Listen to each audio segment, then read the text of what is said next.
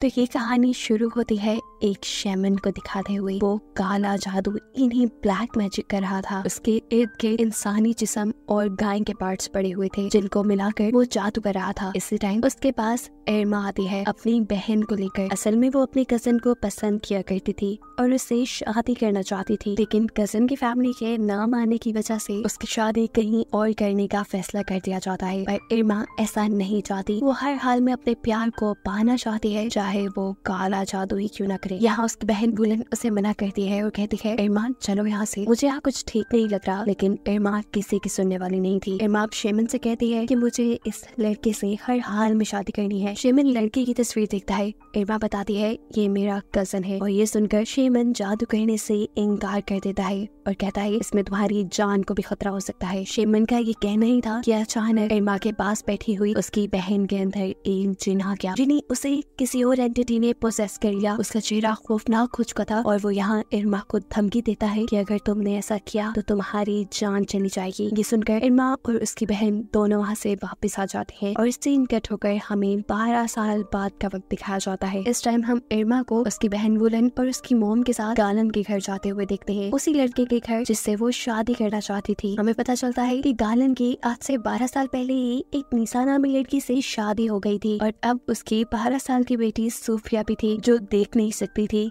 यानी वो ब्लाइंड थी। ये सभी लोग यहाँ सोफिया की बर्थडे पार्टी सेलिब्रेट करने के लिए आए थे। इसी टाइम पर हमें गालन की मदर को भी दिखाया जाता है। गालन की मदर और इरमा की मोम दोनों बहनें हैं। हमें मालूम हुआ कि गालन की मदर काफ़ी टाइम से बीमार है। यहाँ पर हमें मालूम होता है कि सिर्फ़ इरमा ही नहीं, बल्कि गालन भी इरमा के प्यार में एक वक्त में पागल हुआ करता था। उसने अपनी मोम के कहने पर निशा से शादी तो कर ली, लेकिन वो आज भी इरमा के काफ़ी करीब था। लेकिन अब उसे एहसास होने लगा था कि इरमा के साथ रहते रहते वो अपनी प्यार प्यारी से बेटी और अपनी वाइफ के साथ ज़्यादा कर रहा है। इसीलिए उसने इरमा से दूर जाने का फैसला कर लिया। लेकिन इरमा ऐसा होने नहीं देना चाहती थी, क्योंकि अब इरमा भी प्रेग्नेंट थी। ये सुनकर गालन उसके साथ बहुत ही रूड बिहेव करता है और उसे घर जाने को कहता है। घर आकर भी इरमा उसे बहुत कॉल्स करने की कोशिश करती है, लेकिन गालन उसकी कॉल्स को कॉन्टिन्यूसली इग्नोर कर रहा था। इरमा की बहन, जो की इरमा और गालन के बारे में सब कुछ जानती थी, वो इरमा से कहती है, अब गालन तुम्हारा कभी नहीं हो सकता। तुम उसका पीछा क्यों नहीं छोड़ देती? तुम अच्छी तरह जानती हो, उसकी एक फैमिली है और तुम उसकी फैमिली खराब कर रही हो। वुलन की बातों से एरमा को बहुत ज़्यादा गुस्सा आ जाता है और वो डांट कर वुलन को ही अपने कमरे से बाहर निकाल देती है। इस टाइम उसे वैसे भी वुलन से ज़्यादा गालन पे गुस्सा रहा था, क्योंकि एक वक्त ऐसा भी था जब गालन ने उसके साथ जीने मरने की कस्में खाई थी। पर अब जैसे वो सब भूल चुका था उससे में इरमा अब गालन की काम करने वाली जगह पे पहुँच जाती है। वो इस टाइम गुस्से में थी और गालन से अपने बच्चे को एक्सेप्ट करने को कह रही थी। लेकिन यहाँ पे गालन उसकी बात नहीं सुनता और उसके साथ बहुत रूड बिहेव करता है। उससे मेरी माँ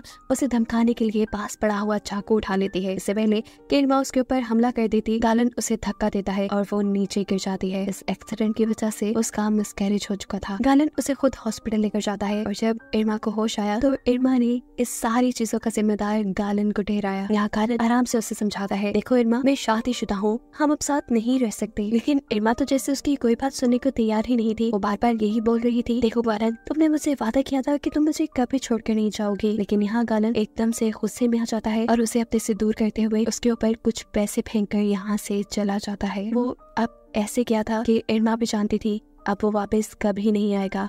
उसने अपना सब कुछ खो दिया था। वो यहाँ ज़ोर ज़ोर से चिल्लाती है और फिर गालन को बर्बाद करने की ठान लेती है। सीन कट होकर हमें दोबारा गालन को दिखाया जाता है, जो काम के बाद अपने घर वापस लौट रहा था। तभी रास्ते में मस्जिद से इमाम निकल कर उसे कहते हैं, गालन, अब तुम्हारी फैमिली में से कोई भी मस्जिद नहीं आता। तुम्हें मस्जिद आकर इबादत करनी चाहिए। इबादत हमारे ऊपर आने वाली बुराइयों को पहले से पहले ही रोक देती है। उसके बाद इमाम गालन को उसकी बेटी सोफिया के लिए एक गिफ्ट भी देते हैं, जिसके बाद गालन घर चला जाता है। बहुत ज़्यादा थका हुआ था, इसीलिए सो गया। पर तब सोते हुए सोफिया उसके पास आई। सोफिया ने उसे झुकाया और यहाँ हमें दिखाया गया कि सोफिया ने अपनी आँखें बाहर निकाली हुई थी, जिसे वो गालन को देते हुए कहती है, डैड, इस मरतबा, अगर आप मुझे कोई गिफ्ट देंगे तो मुझे आँखें गिफ्ट करना।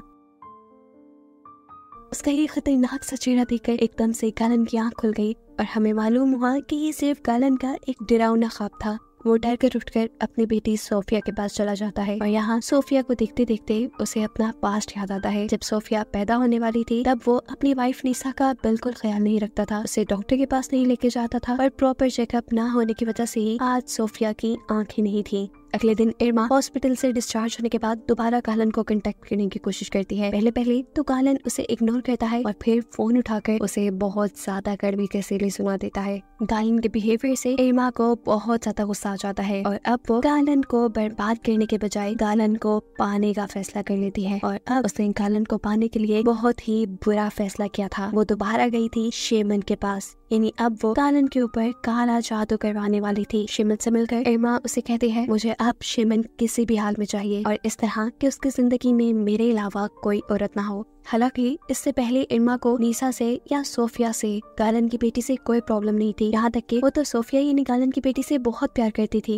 लेकिन अब गालन के ही बिहेवियर ने उसे यहाँ तक पहुँचा दिया था। वो शिमन से कहती है, इस काम के लिए चाहे आप मेरे से कोई भी कीमत ले लें, लेकिन अब मुझे गालन सिंगल चाहिए। शेमन अभी भी उसे कहता है, देखो लड़की तुम बात नहीं मान रही। ये काम बहुत ज़्यादा खतरनाक है। लेकिन इरमा को परवाह नहीं थी। इरमा यहाँ पर अपनी और अपनी बहन की सारी गोल्ड की ज्वेलरी उसने दे देती है, जिसे देखते हुए शेमन की मोम भी शेमन को ये काम करने को कह देती है। अपने मोम के कहने पर कि शेमन इरमा की मदद करने को राज़ी हो जाता है और फिर इरमा को बताता है कि इस दुनिया में बहुत किस्म के जिन होते हैं और उसमें से एक किस्म है अनजार जिन्स की, जो कि काफिर है। मुसलमानों से बहुत ज़्यादा नफरत करते हैं। और इन्हीं जीन्स का इस्तेमाल करते हुए वो उनके ऊपर काला जादू करेंगे। काला जादू के लिए उसे अब कुछ चीज़ें चाहिए थी। ये काला जादू होने वाला था नीसा पर। यानी गालन की वाइफ पर, ताकि वो और उसके सारे रिश्ते मर जाए। शिमन उसे नीसा की एक फ़ोटो बाल और खून लाने का काम देता है, जिसके ज़रिए नीसा के ऊपर पोजेशन होगा। यानी नीसा के ऊपर काला जादू का असर होगा। साथ ही शेमन को काले जादू के लिए एक ताज़ा मरे हुए इंसान के पाओ की हड्डी भी चाहिए होगी, जिसके ऊपर वो गाय की आंतों को लपेट कर अपना जादू करेगा। शेमन के कहने पर इरमा गालन के घर जाती है, उसकी वाइफ से मिलती है और बहाने से उसके वॉशरूम में जाकर उसके कंगे से बाल और उसके वॉशरूम से सैनिटरी पैड चुरा लेती है। अपना काम होने के बाद वो यहाँ से निकलने ही वाली थी कि उसे दोबारा यहाँ पर गालन देख गया। गालन उसे देखते ही कहता है, तुम यहाँ क्या कर रही हो? कितनी मरतबा मना किया है मैंने तुम्हें। मेरी फैमिली से दूर रहो। उसकी बातें सुनकर इरमा को अपने लिए और भी ज़्यादा बुरा लगता है। और वो अब एक मज़बूत इरादे के साथ ये सारी चीज़ें जाकर शेमन को दे आती है। शेमन भी एक इंसान की टांग ले आए थे और रात में ये रिचुअल ये जादू शुरू कर दिया जाता है। शेमन निर्मा से कहते हैं अच्छा हुआ कि तुम फ़ोन ले आई। फ़ोन से तो ज़्यादा अच्छा असर होगा। वो यहाँ एक ब्लेड से सेंट्रीपैड को काटते हुए फ़ोन को पाओ की हड्डी के ऊपर गिराते हैं। उसके बाद कुछ जादू मंत्र पढ़ते हैं और अचानक से उनका ये घर हिलने लग जाता है। फाइनली यहाँ वो जिन आ चुके थे, जिनकी हेल्प से इन्हें नीसा के ऊपर पोजेशन करवाना था। वो इन जिनों से, जिनों की ही लैंग्वेज में बात कर और नीसा को बर्बाद करने को कहता है। जिन उसकी बात सुनकर यहाँ से चले जाते हैं और शेमन इतमा को बताता है कि अगली पाँच रातें नीसा के लिए इंतहाई मुश्किल रातें होंगी, जिसमें उसके सारे ब्लड रिलेशन मारे जाएँगे। ऐसे इरमा की सारी ख्वाहिशात पूरी हो जाएँगी। पहली रात में हमें दिखाया जाता है कि निशा जब नमाज़ पढ़ रही थी, एकदम से उसके सामने गाय के कटे हुए पार्ट्स आ गए, जिसे देखकर वो डर गई। जिसके बाद निशा को ऐसे महसूस हुआ जैसे उसके ऊपर किसी ने बाल्टी भर के खून गिरा दिया हो। वो डर कर इतनी बुरी तरह चलाई कि गालंग यहाँ आ गया। और जब गालंग की नज़र उसके ऊपर पड़ी तो निशा के कपड़े बिल्कुल साफ़ थे, वहाँ कोई खून नहीं था। वो निशा से कहता है, चलो, तुम आराम कर लो। मेरा ख्याल है तुम थक गई हो। अगली रात हम देखते हैं कि जादू का सर निशा के ऊपर दोबारा हो रहा था। ऐसे में वो अपने और अपनी बेटी के डॉल के बाल काट के खा जाती है। जिसकी वजह से उसे उल्टी शुरू हो जाती है। जब वो होश में आई तो तब वो बहुत ज़्यादा परेशान हो चुकी थी कि वो क्या उठ पटांग की हरकतें कर रही है। वो इन चीज़ों के बारे में गालन को बताना चाहती थी, लेकिन गालन उसकी बातों पे ध्यान नहीं देता। सिन के ठोकर हमें इरमा को दिखाया जाता है, जिसकी बहन ये वुलन उससे अपनी ज्वेलरी के बारे में पूछ रही है। उसे कहती है, मैं जानती हूँ, तुम उस शेमन की ज्वेलरी देकर आई हो ना? तुम कुछ गलत कर रही हो ना? उसकी बातों से तंग आकर इरमा उसे ढांट कर यहाँ से भगा देती है और रात में हमें देखने को मिलता है की इरमा की बहन मर गई। इरमा परेशानी से उठ बैठी और अब इरमा की बहन की मरी हुई बॉडी उसे डरा भी रही थी। जिसके चलते इरमा ने ज़ोर से चीख मारी और तभी उसकी बहन वुलन यहाँ आ गई। हमें मालूम हुआ कि ये सब जो इरमा ने देखा था, वो सिर्फ़ उसका वहम था। इरमा की बहन तो अभी ज़िंदा थी। काला जादू तो इरमा ने नीसा भी करवाया था, लेकिन शायद इरमा खुद अपने ही करवाए जादू के असर में आती जा रही है। खैर, अगले सीन में हमें नीसा को दिखाया जाता है। नमाज़ पढ़ते पढ़ते एकदम से उसे उल्टी हो जाती है। अजीब बात ये थी कि उसकी वॉमिट में, उसकी उल्टी में कीड़े आ रहे थे। बहुत बड़े बड़े कीड़े, जिसे देखकर वो डर गई। उसके साथ पिछले इतने दिनों से जो कुछ भी गलत हो रहा था, वो इन सब के बारे में किसी से बात करना चाहती थी। इसीलिए वो इन कीड़ों को भी उठाकर एक जार में डाल देती है, ताकि वो इन कीड़ों को किसी को दिखा सके। इसके बाद इरमा गालन की मोम के कमरे में जाती है। यहाँ वो आई तो उनका ख्याल रखने के लिए थी, लेकिन अचानक ही पता नहीं उसे क्या हो जाता है। ऐसे लग रहा था कि जैसे किसी चीज़ ने उसे प्रोसेस कर लिया, जिसके चलते वो गालन की मोम को मारने ही वाली थी, लेकिन तभी अचानक उसे होश आ गया। उसे समझ नहीं आ रही थी उसे ये सब क्या कर दिया? वो यहाँ गालन की मोम से माफ़ी मांगती है और कहती है, मैं आपको मारना नहीं चाहती थी। पता नहीं मुझे क्या हो रहा है, मुझे खुद समझ नहीं आ रहा। इससे पहले कि कुछ और गलत होता निशा बगैर वक्त जाए किए किसी से मदद लेने का फैसला करती है और बाथरूम में जाकर जब उस जार को उठाती है, जिसमें उसने अपनी उल्टी में निकले हुए कीड़े बंद किए थे तो वो ये देखकर हैरान हो गई कि वहाँ अब वो कीड़े नहीं थे। दूसरी तरफ़ गालन की मोम जो कि चल भी नहीं सकती थी। हमें दिखाया जाता है कि वो बिल्कुल सही चलते हुए किचन में आती है और गर्म खाने से भरा हुआ बर्तन उठाकर अपने ऊपर डाल देते हैं। निशा जो अभी भी बाथरूम से बाहर निकली थी, वो ये सब देखकर परेशान हो गई, क्यूँकी अब कालन की पोम के पूरे जिसम पे बड़े बड़े आबले बन चुके थे। उनका जिसम जल चुका था और कुछ ही देर में उनकी मौत हो गई। तीसरी रात में हमें दिखाया जाता है कि गालन के मोम का फ्यूनरल था और सभी यहाँ पर आए हुए थे। फ्यूनरल पर निशा एकदम से ही अपने ऊपर से कंट्रोल खो देती है। उसे कोई एंटिटी प्रोसेस करती है और इसी पोजीशन में वो गालन की मोम की डेड बॉडी को वहाँ से उठाकर दूर फेंक देती है। सभी लोग ये देख कर डर जाते हैं, सिवाय इरमा की, जो जानती थी यहाँ क्या हो रहा है। और वो तो ये सब देख कर खुश थी। दिखाया जाता है की यहाँ पर इमाम भी आए थे। वो निशा की ये हालत देख कर समझ जाते हैं कि निशा के ऊपर किसी ने कब्जा किया हुआ है। यहाँ निशा को पकड़ कर उसके ऊपर कुछ पढ़ते हैं और निशा इस टाइम कंट्रोल में आ जाती है। इमाम अब ये समझ गए थे कि किसी ने जान बूझ कर किसी ईवल जिन को निशा के पास बुलाया था। फिर दिखाया जाता है कि अपनी मॉम के फिनरल के बाद गालन भी जब सोने के लिए जाता है तो उसे भी अब अजीब और गरीब ख्वाब आ रहे हैं। बहुत डरावने डरावने। उसने अपने ख्वाब में देखा था कि वो मर चुका है और उसके इर्द गिर्द बहुत सी औरतें घूम रही थी। देखकर वो डर गया और फ़ौरन इमाम के पास गया। सारी बातें इमाम को बता बताने के बाद इमाम जवाब देते हैं, मैं पहले ही नीसा को देखकर जान गया था कि वो किसी शैतानी जिन के कब्जे में है। उसका नाम है अनाजार और अनाजार एक ऐसा जिन है जो बहुत ही ज़्यादा ताकतवर है। वो मुसलमानों से नफरत करता है, इसीलिए लोग उसे काले जादू में यूज़ करते हैं। इमाम कहते हैं, निसा का इलाज हो जाएगा, कलम तुम फ़िक्र ना करो। जिन कितने भी ताकतवर क्यों ना हो, लेकिन अल्लाह सबसे ज़्यादा ताकतवर है। और अल्लाह से ही मदद मांगते हुए हम निसा को बिल्कुल ठीक कर लेंगे। वो यहाँ गालन को निसा के लिए होली वाटर देते हैं और कहते हैं कि हमें निसा पर एक्सोरसिज्म करना होगा। होगा। यानी जादू का तोड़ करना होगा। इसके लिए तुम नीसा को मस्जिद के पीछे वाले हॉल में ले आना। अब गालन जैसे ही घर आया तो उसने देखा कि नीसा चिल्ला रही थी। असल में उसे गालन की मॉम की स्पिरिट यानी रूह, डरा रही थी। ऐसे में गालन जल्दी से उसके करीब आकर उसे कंट्रोल करता है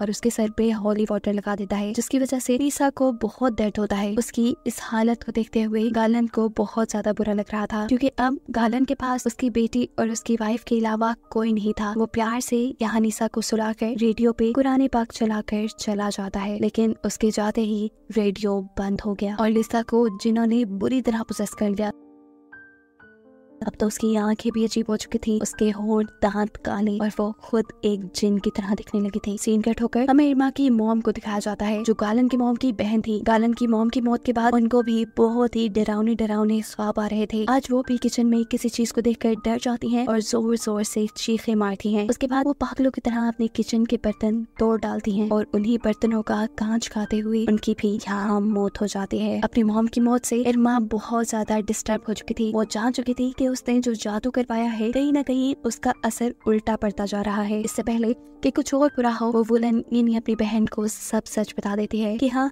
उसने शेमन से मदद ली थी। उसने शेमन से जादू करने को बोला था, लेकिन शेमन ने कहा था कि इस जादू के बाद सारी मौत नीसा के घर पे होगी। नीसा के ब्लड रिलेशन बनेंगे, लेकिन यहाँ तो उल्टा ही होता जा रहा है। यहाँ पर मेरे ब्लड रिलेशन बढ़ रहे हैं, जैसे मेरी मोम और उनकी बहन, और अब जो ज़िंदा बची थी, वो वुमन यानी उसकी बहन थी। वुमन भी ये सुनकर बुरी तरह डर गई। वो अब को अपने से दूर कर रही थी। लेकिन इरमा उसे कहती है वो वन मेरी बात सुनो, मेरा यकीन करो, मैं सब ठीक कर दूँगी। सीन कट होकर दूसरी तरफ़ हम गालन को देखते हैं, जिसे आज निशा को इमाम के पास लेकर जाना था। इमाम ने उन्हें कहा था कि तुम फ़िक्र मत करना, अल्लाह हमारी मदद करेगा और हम उस जिन को हराने में कामयाब हो जाएँगे। गालन भी जवाब में सर हिलाते हुए रीसा को अपने घर लेने चला जाता है। जहाँ रास्ते में उसे इरमा मिलती है। असल में इरमा उसे सब सच बताने आई थी। ये सब कुछ जो हो रहा है, वो उसके करवाए काले जादू की वजह से हो रहा है। सच्चाई सुनते ही गालन का गुस्से से बुरा हाल हो जाता है। अब आज काले जादू की पांचवी रात भी आ चुकी थी और ये सबके ऊपर बहुत भारी पड़ने वाली थी। यहाँ दिखाया जाता है की इरमा सब कुछ रोकने के लिए शेमत से मिलने के लिए जा रही है, लेकिन अचानक से उसकी बहन बुलन पोजेस होकर उसी के ऊपर हमला कर देती है। उसे डरते हुए इरमा वहाँ से भाग बाहर निकल जाती है और बुलन भी बाहर आ गई थी। वो अब इरमा के बहुत करीब आकर उसे कहती है, देखना आज मैं भी मर जाऊँगी। ये कहते ही वो वहाँ दरख्त पर चढ़ गई, जिसके बाद उसके बाल दरख्त की टहनियों में फंस गए और एकदम से उसने दरख्त से जंप कर दी, जिसकी वजह से उसके बालों के साथ साथ उसके सर की खाल भी उतर गई और बहुत ही बुरे तरीके से उसकी मौत हुई। ये सब देखकर इरमा तो जैसे पागल ही हो गई थी। वो अब जल्द से जल्द शेमन के पास जाकर ये सारी चीज़ें रुकवाना चाहती थी, ताकि एटलीस्ट उसकी जान बचाए। जबकि दूसरी तरफ़ हम देखते हैं कि इमाम साहब नीसा का एक्सोरसिज्म भी शुरू कर चुके थे। जैसे जैसे वो मुस्लिम्स की होली बुक यानी कुरानी पाक बढ़ते रहते हैं इरमा की हालत बिगड़ती रहती है। उसको जिन जिन्होंने प्रोसेस किया हुआ था, वो यहाँ कंट्रोल से बाहर हो जाते हैं और इस जगह मौजूद सभी इंसानों के ऊपर हमला करके उन्हें मार डालते हैं। इधर इरमा, जो शेमन के ठिकाने पे पहुँच चुकी थी, शेमन उसे वहाँ कहीं नहीं मिलता। एकदम से नेगेटिव एनर्जीज उसे ही अपने कंट्रोल में ले लेती हैं। उसका जिस्म अकड़ जाता है, हड्डियाँ मुड़ जाती हैं, कमर टूट जाती है, और ऐसे ही एक एक करके उसकी सारी बॉडी टूट कर उसकी भी यहाँ बुरे तरीके से मौत हो जाती है। यहाँ मस्जिद में निशा जिनों के ज़रिए बहुत से लोगों को मारने के बाद अब गालन को भी पकड़ चुकी थी। इससे पहले कि वो गालन को भी मारती थी, यहाँ इमाम उसे बेहोश कर देते हैं। लेकिन उसे बेहोश करने के बाद भी ये लोग देखते हैं कि यहाँ सारे बुरे काम वैसे ही चल रहे थे। और तब इमाम की नज़र जाती है सोफिया पर, यानी नीसा की बेटी पे। और सबसे बड़ा सच ये रिवील होता है कि जो जादू इरमा नीसा के ऊपर करवा कर आई थी, वो जादू तो नीसा के ऊपर हुआ ही नहीं था, बल्कि सोफिया के ऊपर हो गया था। और जिन्होंने सोफिया को ही प्रोसेस किया हुआ था। और इसकी वजह ये थी कि इरमा ने बाथरूम में से जो सैनिटरी पैड और जो बाल उठाए थे, वो नीसा के नहीं, बल्कि सोफिया के थे। इसी वजह से नीसा के बजाय सोफिया के सारे ब्लड रिलेटिव्स मारे गए थे, जिसमें एम्मा की भी फैमिली शामिल थी। यहाँ सोफिया गालन को मारने लगती है, जिस पर गालन उससे माफ़ी मांगते रह जाता है, लेकिन सोफिया एक नहीं सुनती और बेरहमी से अपने डैड को मार डालती है। यहाँ इमाम जब निशा को छोड़कर सोफिया के ऊपर एक्सोरसिज्म करते हैं। तो ये एक्सोरसिज्म काम कर जाता है और जिन सोफिया को छोड़कर चले जाते हैं, ये हकीकत अगर इन लोगों को पहले पता चल जाती कि जादू असल में सोफिया के ऊपर हुआ था तो ये लोग काफ़ी लोगों की जान बचाने में कामयाब हो जाते। पर अफसोस, अब काफ़ी लोग मर चुके थे। कहानी के आखिरी सीन में हमें दिखाया जाता है की अब निशा ज़िंदा है, लेकिन बहुत ही बुरी हालत में वो हॉस्पिटल में एडमिट है और तभी उसके पास सोफी आई है। सोफी की हालत अभी भी खराब थी उसका खौफनाक चेहरा ये बता रहा था कि अभी भी जिन्होंने उसे प्रोसेस किया हुआ है और अब वो अपनी सबसे करीबी और आखिरी ब्लड रिलेटिव यानी अपनी मॉम को मारेगी, जिसके साथ ये कहानी यही खत्म हो जाती है।